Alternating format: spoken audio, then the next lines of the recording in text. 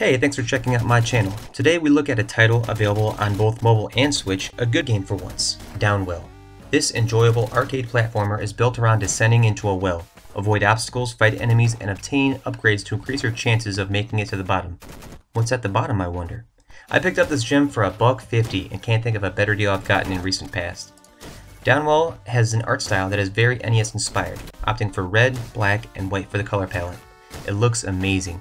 Another pixel style game that does it right, with just enough to make it perfect and not overdone.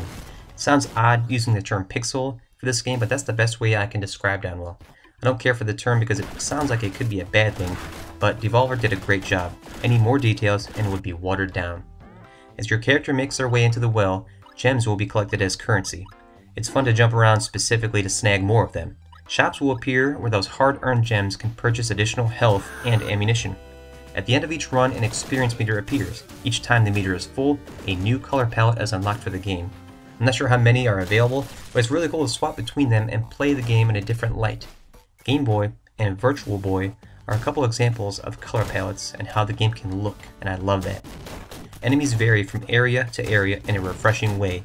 Each run you will understand their movement and attacks, then use that to your advantage. A downward stomp attack can be performed that will bring a combo meter above your character's head. With a high enough kill count, a reward will be given in gems, ammo, and health. Very helpful indeed. Different modes will be unlocked, one being a slower movement, which is fruitful to achieve a high stomp combo. Showing off a high stomp count via Twitter is entertaining and engaging with other players.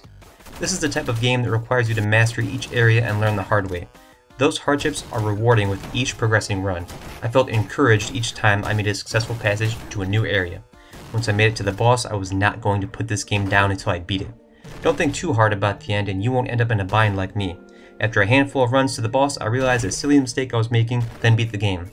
It gave me that little rush we're all looking for, for with victory, and that brings this $1.50 gem to a close. Final words, if you were lucky enough to have purchased this gem for the low price that I did, then you're lucky enough. The leaderboard showed people beating this game in 8 minutes, but for most, it will have decent replayability with loads of runs.